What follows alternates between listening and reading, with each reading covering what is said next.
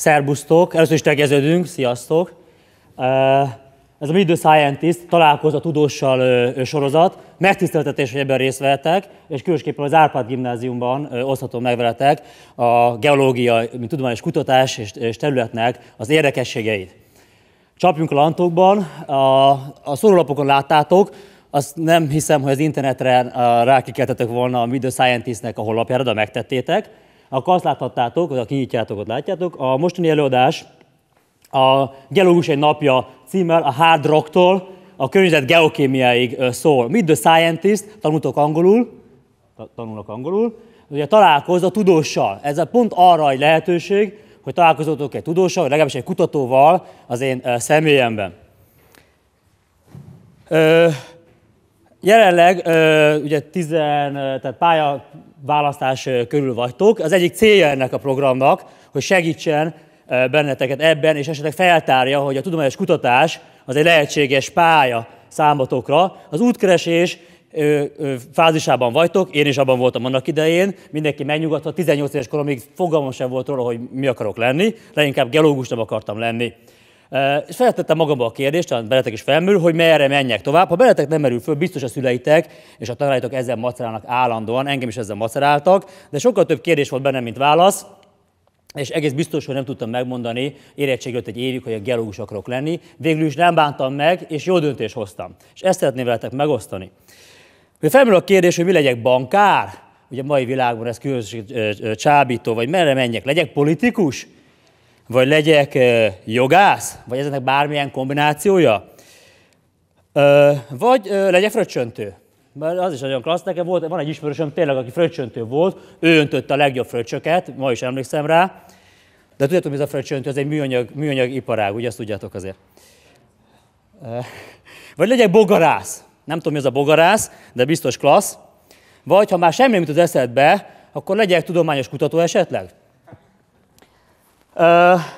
Nézzük meg, hogy találkozunk a, találkozunk a tudóssal, mi the scientist a címe ugye ennek a, a sorozatnak, de végül is kivel találkozzak, és miért? Egyáltalán miért vagyok itt? Miért teltek be engem a terembe? Nyilván a tanárbácsi, a tanárnő azt mondta, gyertek be, hátsó sorban biztos el lehet aludni, de azért mégiscsak miért is vagyok én itt? Hát, ha a fél óra múlva azért erre a kérdésre kaptok választ.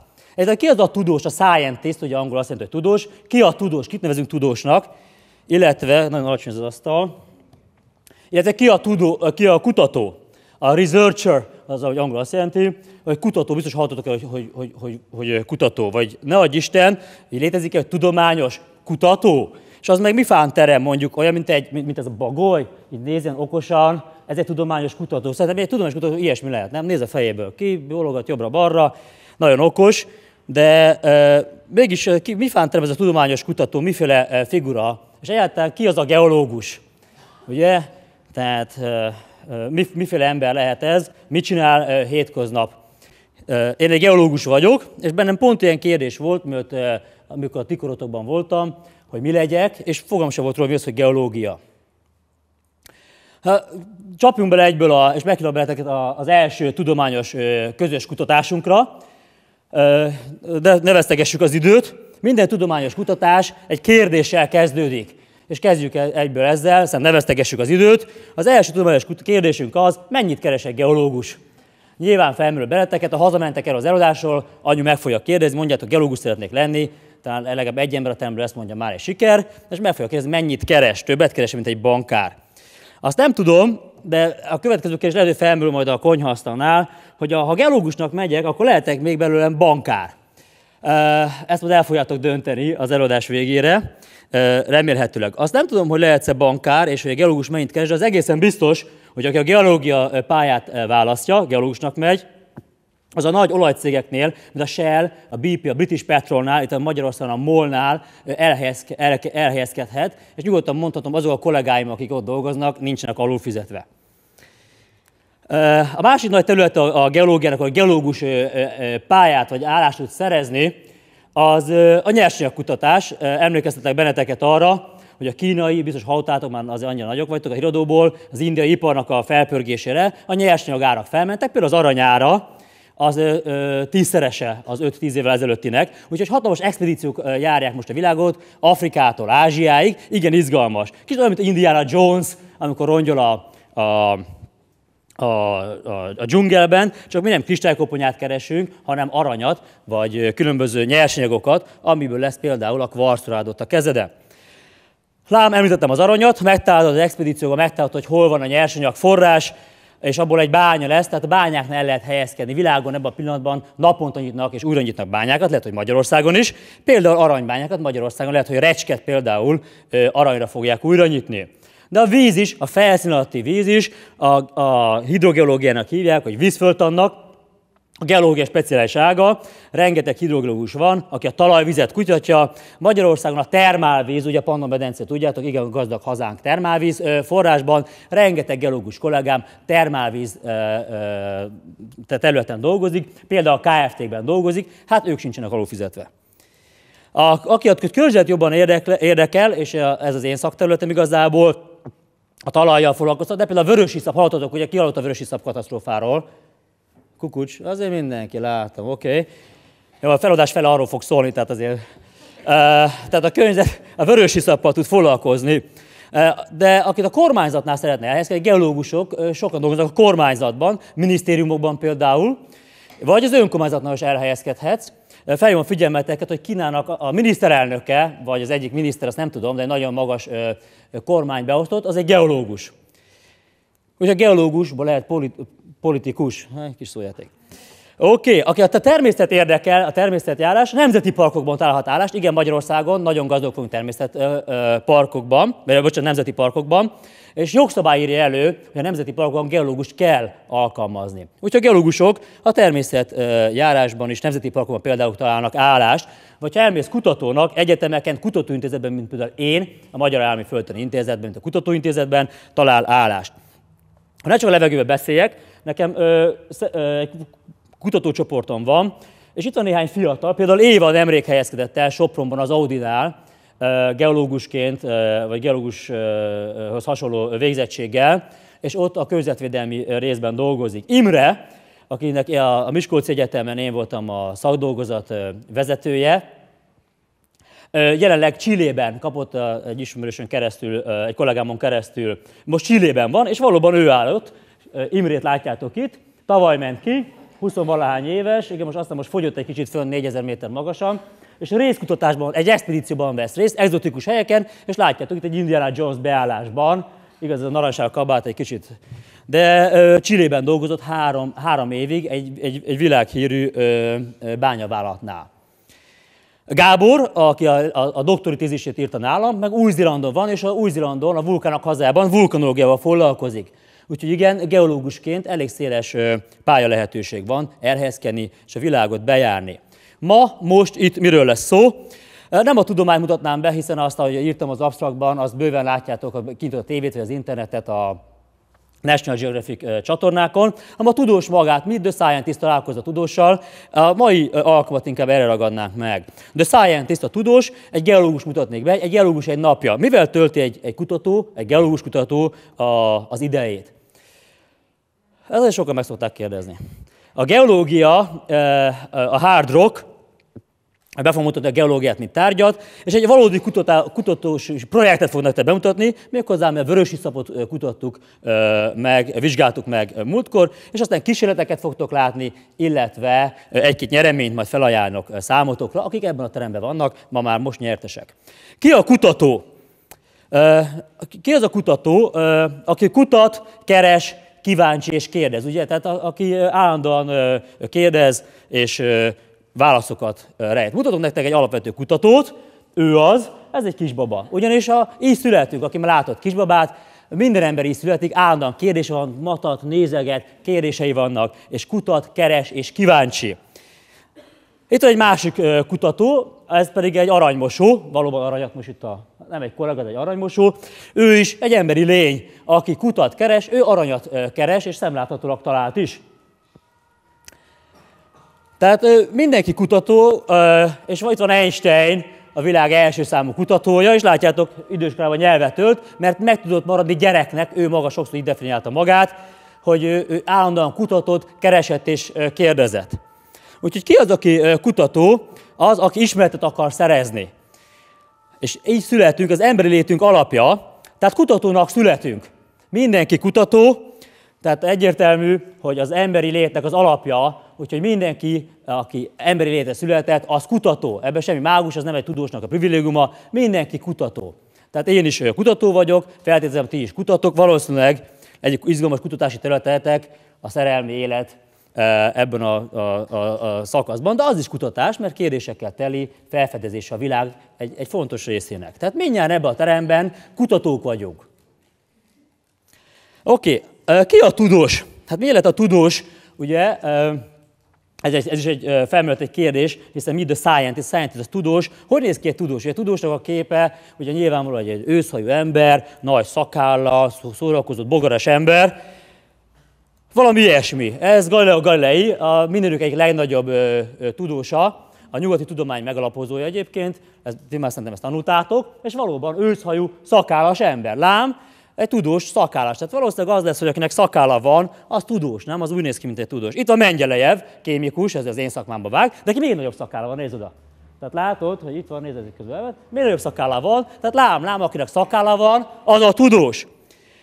Ez nem biztos, hogy lehet extrapolálni minden határon túl, mert a Mikulásnak is nagy szakála van, de őt nem azért szeretjük és tiszteljük, mert nagy tudós, hanem egészen más kvalitással miatt. Úgyhogy úgy látszik, hogy nem az a tudós, akinek nagy szakála van, legalábbis az nem elegendő. A tudós is egy kutató, aki állandóan kérdez és vizsgálódik, de egy speciális kutató, aki ismereteket szerez egy, most kicsöngettek vagy becsöngettek, szisztematikus módszerrel, és ez a szisztematikus ismerszerzési módszer, ezt hívják tudománynak. Tehát mi a tudomány? Az egy módszer, semmi más, mint egy ismerszerzési módszer. Semmi, semmi különös nincs benne, semmi fantasztikus. És ezt mindjárt látni is fogjátok. Két alapvető pillére van a tudományos módszernek. Az egyik, hogy a tényeken alapszik, megfigyeléseken és kísérleteken. Egyébként ezt épp Galilei vezette be, onnan számítjuk a a nyugati tudomány megszületését, mert tényeken, megfigyeléseken alapszik. És ha egyszer jól megfigyelted a, a környezetedet, akkor a logika eszközével, egyszer a szimpla, egyszerű, észszerű gondolkozással következtetéseket vonsz le, és akkor új ismeretekre tesz szert. A tudomány olyan módszer, ami a tényeken alapszik, és a logika eszközét használja. Aki ezt a kettőt gyakorolja, az gyakorlatilag a tudományos kutatásnak a, a, a birtokában van. Az iskolában ezt tanuljátok, nem biztos, hogy tudatosult bennetek, a tények, például földrajzon, fizika órán kísérleteztek, kémián, egyfolytában kísérleteztek, egybe se csináltok, mint azt tudjátok meg, hogy a tényeket hogyan kell feltárni. A matematikóra bármilyen unalmas és, és, és idegesítő, a lényeg mégiscsak az, hogy a, megtanuljátok, a matematika alkalmas arra, hogy logikus következtetések vonjatok le a tényekből. És lám, a magyar nyelv az milyen gazdag, és milyen frappás, mert a józan paraszti ész pont ezt fejezi ki. A józan, ugye ki a józan ember, aki a tényeken alap, aki a tényeket veszi figyelembe, ott él ugye a két lebon áll a, a talajon, és egy józan ember, ugye, aki a tényeket ö, ö, veszi alapul. A paraszti ész, az pedig ugye a, a csavaros eszű magyar paraszt, ugye, aki a logika eszközével, vagy egyszerű gondolkodásmóddal ö, tud gondolkozni. Tehát aki a józan paraszt észre gondolkozik, és az lehet egy józan paraszt, még egy ittas paraszt aztán nem. De amikor egy józan paraszti ész gondolkozik, az semmi más nem csinál, mint a tudomány módszerét gyakorolja. Úgyhogy semmi bűvös nincs benne, a tudományos kutatót definiáljuk tehát, az vagy egy bagoly, vagy majd később eldöntjük, hogy ö, ö, hasonlít ehhez a, a, a kis kíváncsi állathoz.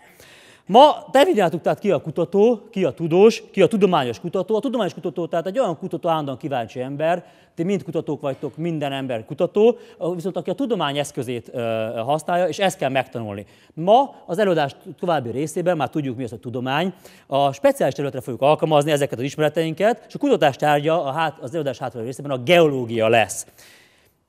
Mi az a geológia? A geológia az a földtan, ugye geo föld, logos, lógia, ugye tant jelent, geológia, föld, tan. Itt van nektek egy kis kvízt összeállítottam, ezekkel nap mint nap szembesülök, hogy mi a különbség a geológia és a geodézia között, a geológia és a geográfia között, illetve a geológia és a teológia között. Melyik a kakuktojás, lehet jelentkezni, hol van itt a kakuktojás, geológia, geodézia, geográfia, teológia, mondjad fiam, teológia, köszönöm szépen. Valóban ott a helyes válasz, és ott a pipa is. A teológia, mert a többi az mind természettudomány, a teológia viszont ugye a logika eszközét használhatja, de nem szükségszerűen a tényekből indul ki. Tehát nem áll mind a két lábon, ezért nem nevezzük természettudománynak, mert a tudományos módszert két pilléréből szükségszerűen csak az egyiket alkalmazhatja. Mentet Máleo, ez a geológia jelszava. A mente az, az azt jelenti, hogy ész, el tudja az és, a Máleo meg kalapács. Ész és kalapács, a geológusok használják az eszüket, szerencsés esetben, de a kalapácsokat mindig használják, mert a közvetet azzal kell széttörni, amit mindjárt bemutatok. És íme itt egy nyeremény, aki a teremben van, már is nyert, és mit nyert? Ezt felajánlom a, a jelenlevőknek. Egy meghívást a Magyar Állami Földtön Intézetben, a munkahelyemre, a Stefánien, egy gyönyörű szecessziós palotában, egy Art Novo szecessziós palotában. A kulturális örökség része, épületünk, az volt régen az ablakom. Gyertek el hozzánk, mely az intézetünk belülről fogad benneteket, és nem mással, mint az Országos Földtöni Múzeummal, ahol a tanáratok, ha szervez, de egyébként jöttek családdal is, szívesen látunk benneteket. Éjszaka azért nem áztatok fel a tetőre, de érdemes felnézni, mert gyönyörű a zsolnai porcámból készült tető vár benneteket, egy ilyen épület, amilyen tető van. Úgyhogy gyertek el hozzánk, várunk benneteket. Oké, okay, a geológia és a földtan Nak mik a nagy kérdése és kihívásai? Ugye a geológia, elrohadtam, a kőzetekkel foglalkozik, dinoszauruszok, vulkánok, mélytengeri árkok, kontinensvándorlás. Szerintem ezt földrajzból tanultátok, ha itt van a földrajztanárotok, biztos megerősíti. Oké. Okay. De melyek azok a nagy kérdések, amelyek nem rám várnak, hanem rátok várnak azra, aki a geológiát választja, hogy mely kérdésekre kell válaszolni. Igen, izgalmas kérdések állnak előttünk. Például a nyersanyag kutatás, amit említettem. Ez ma egy kielezett kérdés, Kína, India, az Egyesült Államok, Európai Unió és Japán gazdasága pörög, és Afrikában, Dél-Amerikában hát verseny folyik az ásványi nyersanyagért. Milyen ásványi nyersanyagért? Például az aranyért és a fémért. Igen, geológusok találják meg, geológusok találják meg az aranyat. Ez elég nagy darab arany, ez nem az én kezem, de ez nem is az én aranyam, az a baj. Viszont a fémekből látjátok, hogyha egy jó címnél helyezkedtek el, ilyen terepjáratok lehet. Most nem tudom, hogy ez, a, ez egy geológusé, vagy a, a, az olajcég igazgatójának az autója, de egy biztos, hogy fémből készül, amit geológusok bányáztak ki a, kő, a, kő, a kövekből. A high-tech anyag, eszközök is az iridium, lantán, nagyon speciális nyersanyagok kellenek, a kvarcoráthoz, a mobiltelefonhoz, amit az előbb megszólalt, pontosan ezeket az elemeket kell kibányászni a kőzetből, e, és ez csak geológus tudja megmondani, hogy ez hol van. Ebből készült például ez a, ez a, a terepi, bombaálló és golyóálló, vízálló, dobásálló terepi e, tabletünk, egy, egy mobil e, térinformatikai számítógép, mert pont egy fél éve szereztem be, vagy szereztünk be. Az olaj és a gáz, nem kell bemutatnom, szintén a nyersanyagkutatás egy izgalmas része, akár az óceán közepén. Igen, magyar geológus dolgozik tengeri olaj, hogy hívják ezt, olaj, fúrótorony, köszönöm. Uh, izgalmas kihívás az energia és a szén és a geotermia. Magyarország nagyon gazdag geotermikus energiában. És lám, lám, ez nem egy magyar példaspeciál, nem Lajos Mizsa határa, hanem ez egy, egy másik területről van szó. De akárhogy is, a geotermikus energia, pont két héttel ezelőtt Hajdúszoboszlón volt egy hatalmas megbeszélés, rengeteg geológus, a MOL-tól és a legfelsőbb kormányzati rétegekből jöttek el emberek, hogy Magyarország geotermikus energiáját hogyan lehet kihasználni, és fiatal kutatókat és geológusokat toboroznak erre a témára, csak Magyarországon, de világszerte is. Hoppá. Ja, oké. Okay. Tehát ezt, ezt nevezzük hard rocknak, ez a, ez a, a, a nyersanyag kutatás, gyakorlatilag ez a klasszikus geológia. Miért? Mert a kemény kőzettel foglalkozik, amit pak, pak, pak, kalapáccsal meg tudsz ütni, és a kemény kőzetnek a, az angol neve hard rock. Ez egy ACDC műsor, biztos ismeritek a hard rockot, ugye a kemény rockot, ez elég kemény, de a, a, a geológiában a hard ugye keményet, vagy szilárdat jelent, a rock, és ez a szójátéknak az alapja, az angolul, a geológus körben ez kőzetet jelent. Rock, az geológus, ge, ge, ge, geológus, hát lehet egy kemény geológus is, de egy kemény kőzet, a hard rock az, az a, a mi szaknyelvünkön, szemben a ti szaknyelvetekkel, ez a kemény és a szilárd kőzetnek a definíciója. Milyen nagy kérdések várnak ö, ö, ö, a megoldásra, amit a geológia felvet? Ugye hiába, ö, még mielőtt egy ilyen szép bányát tudsz ö, nyitni, ugye te ö, találtam ezt a bányát, abban a pillanatban milliómos leszel, de megnyitod ezt a bányát, de azelőtt azért a geológusnak gondolkozni is kell, fölteni modelleket kell építenie, hogy mi lehet a föld alatt. Például egy ilyen, ilyen modellt épít, ezt kezd kihalni, de akárhogy is látjátok, hogy abban a rétegben egy vulkáni, egy magmatikus test benyomult, és lát, látható, nincs egy ilyenünk? Hogy, hogy az, érces, az különböző ércesedés ott rakódik le. Tehát először egy ilyen, ilyen modell talál ki a gelús a tudomány eszközeivel, hogy ezt a, és aztán mondja meg, hogy hol kell a bányát kinyitni. Ilyen, ez egy földtani térkép például, különböző kőzeteket mutatja, ez a Magyar Állami Földtanintézet geológusai készítették, és lám a kollégáim itt éppen a fúrómagot értékelik ki, amit le, lefúrunk, kiveszünk a kőzetet, hogy hol van a nyersanyag. Tehát geológia szükséges a nyersanyag ö, ö, megtaláláshoz. A klímaváltozás, hogyan változott a klíma a múltban? Mit tudunk a múltból találni, és ugye mi vár ránk a jövőben? Tehát mennyire volt változékony a, a klíma a múltban, jégsapkák olvadtak, jöttek, mentek, való, valóban ez vár ránk, csak a geológia tud erre válaszolni. És a katasztrófák, ugye egy ismert katasztrófa. A múltból, a dinok kihalása, megint elérkezik egy meteor hozzánk, és az lesz a, a, a, a végünk. Vagy például a földrengés, ez szintén csupa geológia, geofizika, látjátok, elég eh, romboló tud lenni, de az, hogy meg tudjuk mondani, hogy hol tör ki egy, egy, eh, egy földrengés, melyek a veszélyes területek, egy, egy geológiai modellt kell építeni, amit legalul láttok, ott van egy nagy törés, egy vető, mozgás van, és kipattan a törés, és összeomlanak a házak, és katasztrófa lesz belőle. A geológusok és a geofizikusoknak a feladata az, hogy ezt meghatározzák. Ugyanígy a cunami, az is a földrengés, a tengeri földrengés generálja, hogy a nagy árvizek, amelyek a közelmúltban is nagy katasztrofákat okoztak, ez mind geológia tudás kell hozzá, és az árvizek is szintén földtani és geológiai ismeretek hozzájárulnak az árvizes katasztrófáknak a, az előjelzéséhez. És végül a vulkánok, mindenki izgalmas kérdése. Pont előttem tanult kollégám, Karácsony Dávid, vulkanológus tartott ugyanebben a Meet the Scientist sorozatban, Sopronban egy, egy előadást, föntön az interneten felhívom a figyelmeteket. A vulkán is tud veszélyes lenni, ott egy stop tábla, nem hiszem, hogy meg fogja akadályozni az izzó vulkáni láva előretörését. De ahhoz, hogy megtudjuk, hogy hogyan működik egy, egy vulkán, nem csak nézzük, mint az, az egyszerű helyi lakos, hanem a geológiai tudomány ismeretekkel feltárjuk, hogy mi van bent a vulkánban, és az hogyan működik. Elő tudjuk jelezni, és az emberi életeket tudunk megmenteni. Egyébként is nagyon érdekes. Oké, okay, a víz. Van elég ivóvíz a Földön a, a ivóvízkészletünk egy jelentős része a kőzetben, a felszín alatt van, ami szintén a geológia, a felszín alatti térnek a, a tanulmányos a, a, a geológia foglalkozik.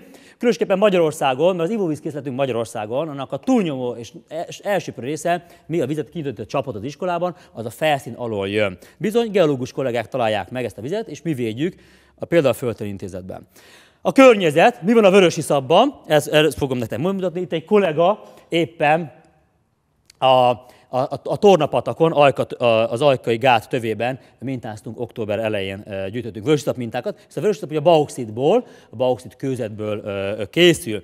Egy új terület a nyomozás, a forensic geology, a nyomozati geológia, a geológusokat ö, részt vesznek igazi rendőrségi nyomozáson. Például most egy kollega mondta, egy, egy brit kollega, Angliába elkaptak ö, egy norvég gyilkost, mert a cipője talpára kőzet összetételt megállapították, és az nem Angliából, hanem a norvég kőzetből származott. Úgyhogy nem tudta letagadni, hogy a Norvégiában volt, mielőtt meg elkövette volna a, a bűnt.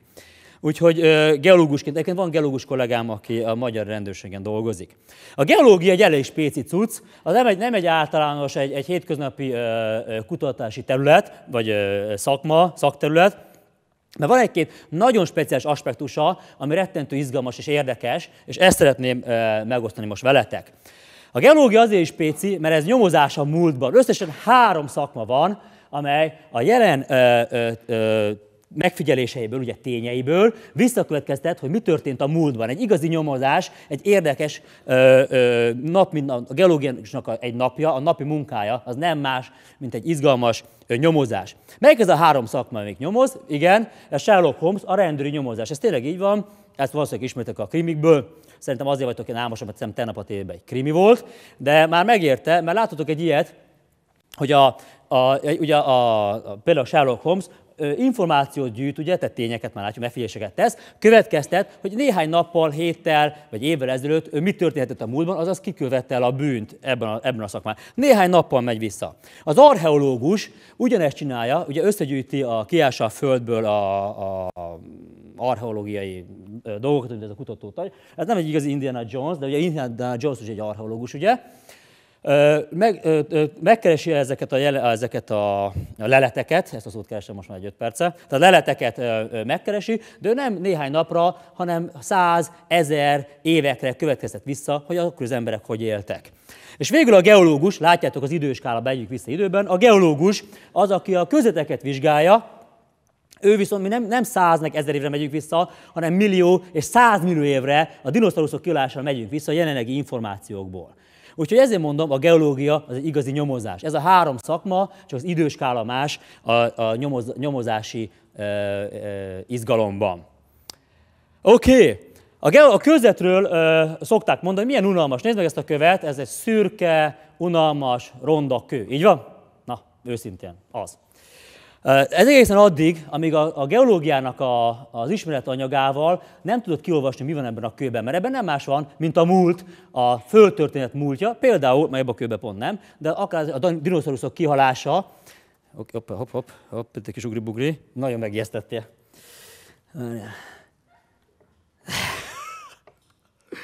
Itt vagyok, elnézést. Oké, okay. Tehát aki a, a, a geológia tudományát megtanulja, az viszont annak nem egy unalmas kő lesz, hanem egy nyitott könyvként feltárulkozik, és kiolvasod belőle, a, hogy mit mond. A kő az egy könyv, csak meg kell tanulni belőle olvasni. És ha megtanulsz, ezt hívják geológiának, tudományos kutatásnak, akkor feltárulkozik, és ki tudod belőle olvasni a Föld múltját. Még egy spéci terület, aspektusa van ugye a geológiának. A háromdimenziós digitális térben, háromdimenziós térben dolgozunk, hiszen minden, ami a lábunk alatt van, az a háromdimenziós térben van, és jelenleg a korszerű technológia háromdimenziós digitális technológiával modellezzük. Ez, ez egyik szakterületem, például Magyarország alatt eh, készítek háromdimenziós térmodellt, hogy meg tudjuk mondani, mi van a, a Föld alatt. Egy ilyen geológia térképből indulunk ki, mint látjátok, ezt már mutattam, és csinálunk belőle háromdimenziós modellt, ez nem más a jobb oldali, ez itt, itt ki, nem, nézd, működik. Ez nem más, mint a hévízi tó alatti háromdimenziós digitális térmodell, ez meg az alai olajmezőknek a háromdimenziós digitális térmodell, amit én készítettem. Úgyhogy igen, igen izgalmas, hogyha nem kell elmenni a háromdimenziós moziba a 3000 forintért, eljössz geológusnak, és egész nap ezt csinálhatod. Ez meg egy másik háromdimenziós modell a területünkről. Látványos és izgalmas. És itt a következő nyereményt felajánlok nektek. A, magy- a MÁFI-ban a Vajami Földi Intézetben, ahol dolgozom, van egy csúcs laboratóriumunk, ahol különböző nagyon izgalmas ö, ö, ketyerékkel vizsgáljuk a kőzeteket, hogy kitáruljon, mint egy könyv az előbb mutattam, hogy mi van a kőben írva.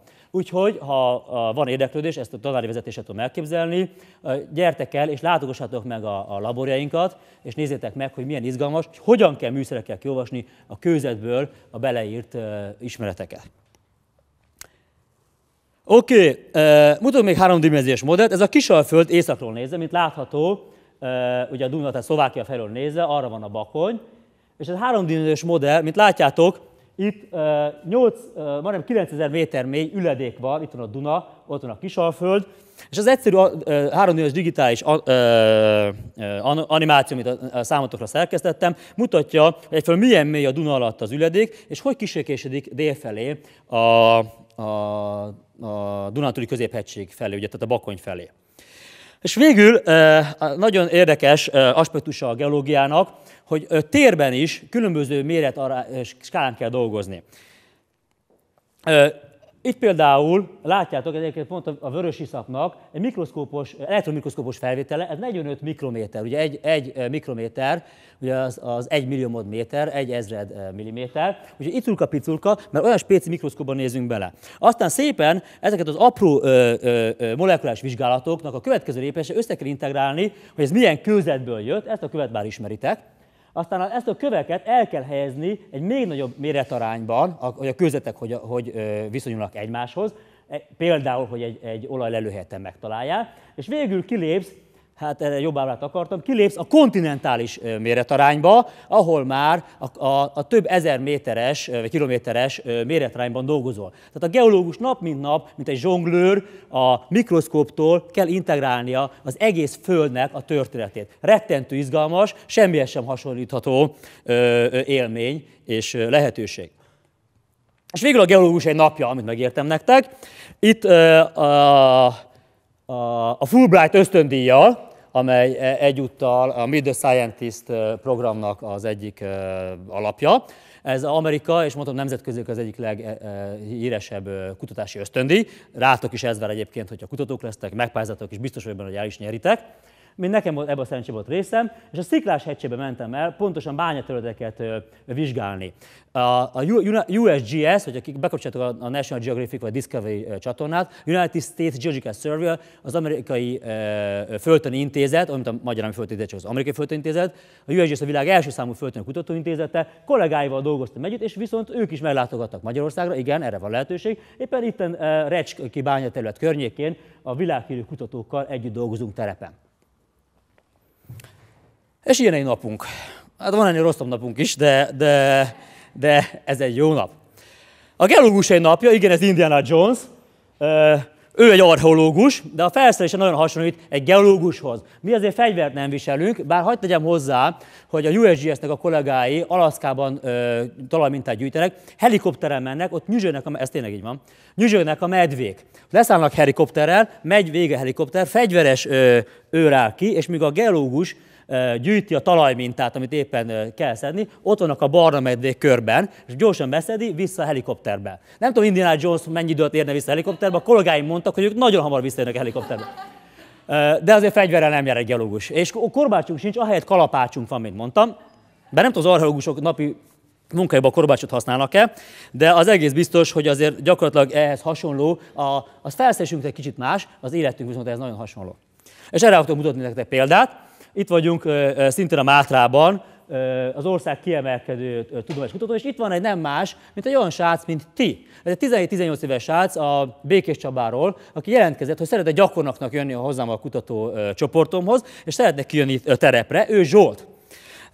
A Zsolt igen aktívan beépült a, a kivitük terepre, és megtalálta a helyét hamar, hiszen annyira motivált és érdekelt őt a kutatás. Egyébként ma is dolgozik a, a, a, a programomban. És mit mondod meg, már elfáradtunk, de ő lelkes volt, és látod, ő ott a falon mászik és gyűjti a mintánkat. És ez egy kitűnő lehetőség. Igen, erre van lehetőség arra, hogy, hogy ilyen fiatalon lehessen részt venni kutatásban, és a the Scientist lehetőséget szeretném erre felhasználni, hogy benneteket meghívjak, meghívjalak az érdeklődőket. És ez a harmadik nyeremény felállnak nektek, de ez a engedem ezekre legmagasabb szintű, hogy amikor megyünk terepre, vagy egy kutatásban részt veszünk, a, a legmotiváltabbakat és érdeklődőket szívesen látom, és apró feladatokkal nem csak ide jövök és megmondom, hogy mi az nagy okos dolog, hanem valóban odajössz te hozzánk, és részt vesz egy igazi kutatóintézetben, igazi kutatólaborban, igazi terepen, mint Zsolt, és részt veszel benne egy kutatásban. Ha ezt lehetőségnek találjátok, akkor szívesen látlak benneteket. Oké, és még egy valódi kutatást mutatok be, a vörös kutatást, és ezzel zárom is a prezentációt. Ez nem más, mint egy igazi tudományos konferenciának az előadása, amelyet egy kicsit engedem meg, egyszerűsítettem, amelyek a címe az volt, a toxikus nehézfém tartalom és a mobilitási vizsgálatok az ajkai vörösíteporn. Ugye a mobilitás azt jelenti, hogy a mozgás, hogy a, a, a toxikus fémeten a híradóban hallottátok, arzén, kadmium, ólom, van a vörösi szabban, és az ugye ki tud-e szabadulni, ha ráesik az eső, ugye emlékeztek, kiömlött, mint itt látható, az a gátfalot kiömlött, elérte a falut, hogy abból a toxikus fémek kiszabadulhatnak-e, tehát mobilisak-e, mert akkor ugye veszélyes az emberi életre.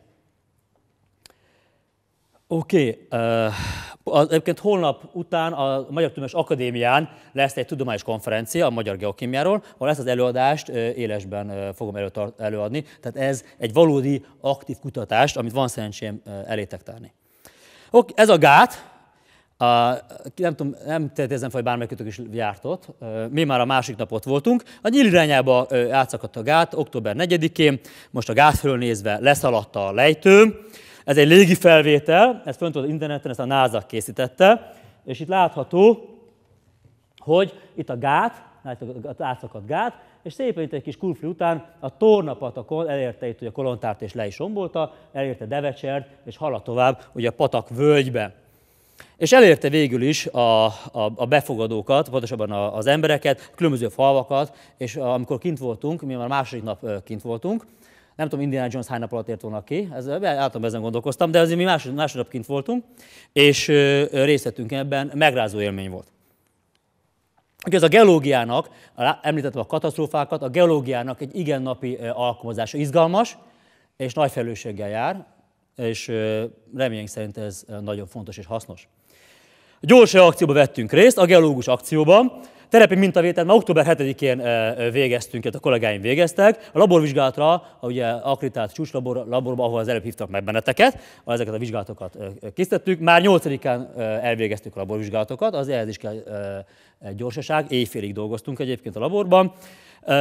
És végül részt vettünk egy nagy egyetemi konzorciumban, ahol légi felvételt készített az egyetemi konzorcium, mi a geokémiai mintavételről mentünk ki. Látjátok, hogy ki van rakva egy nagy lepedő, azt nem alvásra raktuk ki, különösképpen nem október 7-én, egy repülő jött, amely egy speciális szenzorral mérte fel a vörösi szab kémiai összetételét. Ma már ez is lehetséges, hiperspektrális módszernek hívják, hogy a kémiai és ásványos összetételét a levegőből megállapítsd. De ehhez kell terepi mintavétel is, ugye, és lám, szerintem ott valamelyikünk van, mert ez a piros kabát látod, tehát ott volt az Amerikában, és itt is itt van, szerintem az a piros kabát, szerintem én vagyok, ott szorgoskodok végeztünk egy nagy felelősség és nagy, nagyon kiemelt országos nemzetközi jelentőségű munkában. A Föld máfia, a Földtönített geokémiai felvételt készített, különböző mintákat gyűjtöttünk. Most nem részleteznék az időszűke miatt sem, de látható, hogy a tornapatak, ott a kiöntött vörösiszap, és itt a kollégával éppen geokém mintát veszünk, nemzetközi sztenderek szerint. Itt látjátok a talajt, és látjátok, hogy néhány centiméter vastagon hogy a vörös iszap ö, ö, ö, kiömlött. Gyakorlatilag ugye mintát tud venni egy, egy öt éves gyerek is, oda, mint a homokozóba is veszik is lapát, nézd anyu itt lapát, de azért, amit említettem, azért az a kisbaba, amit a kép elején mutattam, és nem tudom, nagy szakálú, vagy nem tudom, kis szakálú tudományos kutató kimegy, az a kettő ismerszerzése között van különbség. Tehát nem mindegy, hogy kiveszi a mintát, oda megy e, egy laikus és gyűjtöget mintát, ez csak a tudomány eszközeivel, ebben az esetben a geológia eszközeivel lehet reprodukálható, tényeken alapuló mintát venni. És ezért kell geológiát tanulni, hogy jó mintát vegyél, és ne botán csináljál, hanem, hanem szolid információhoz jutasd a döntéshozókat, hogy mit kell csinálni a vörösi szappal. Nemzetközi és kormányzat együttműködésben vettünk részt, igen izgalmas volt.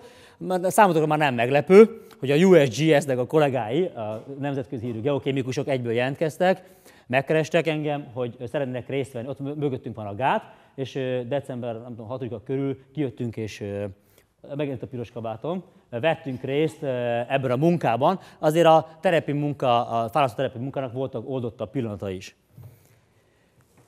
És voltak éppen ez egy kicsit tudományos dolog, amit el akarok mutatni, ugye mondtam nektek, hogy ezt az ábrára talán emlékeztek, hogy ezt a vörös iszapot meg kell nézni, milyen az összetétele. Be kell nézni a mikroszkópba, látjátok az előző ábrából, a, a szakma egyik varázsa, és a vörös iszapot pontot kell csinálni, hogy az elektron mikroszkópot, ott az, az 9 mikrométer, az nagyon icurka picurka azért, de látjátok, a vörös iszap az így néz ki közelről. Ilyen, hát elég csúnya szerintem.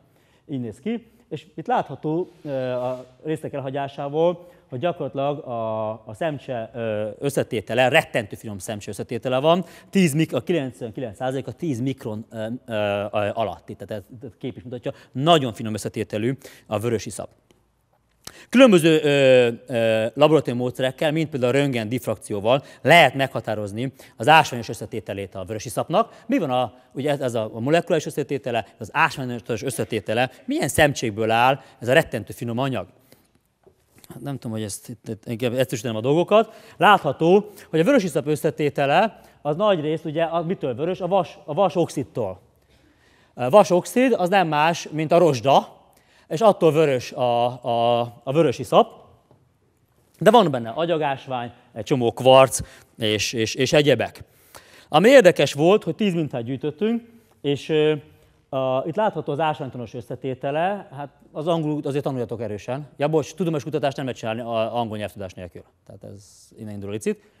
De ez nektek már nem gond, mert gondolom mindjárt tanultok angolul, sőt tudtok is. Úgyhogy látható, hogy az ásványtanos összetétele, ugye egy mintának, minden mintának saját színe van, az egy kicsit azért heterogén, egy-egy mintának más az összetétele.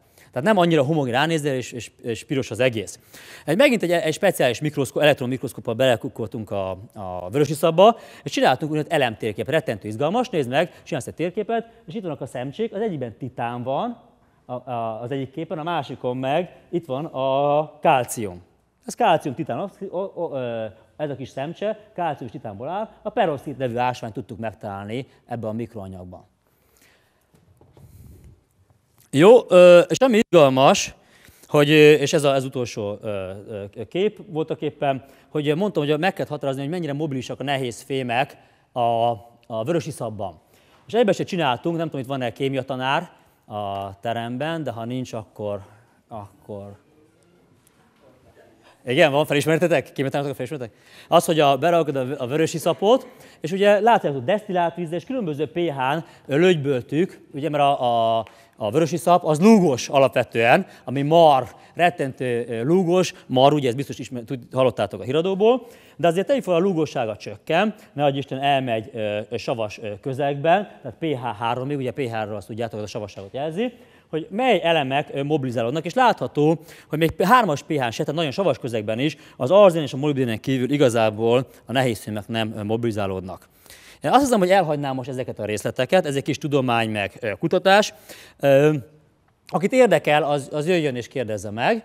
A, a, a, az egyik érdekes dolog volt, hogy a National Geographic-től megkerestek, hogy a vörös iszapról csináljunk egy cikket. Lám, és az a, az a legutóbbi, a, a tavalyi decemberi számban, ha jól emlékszem, itt a, a Földtöri Intézettel az égkutató csoportom nyilatkozott, vagy hát pontosan szakmai ismereteket adtunk a National Geographic-nak, az emberek megismerjék a vörösiszap összetételét. Köszönöm a figyelmet!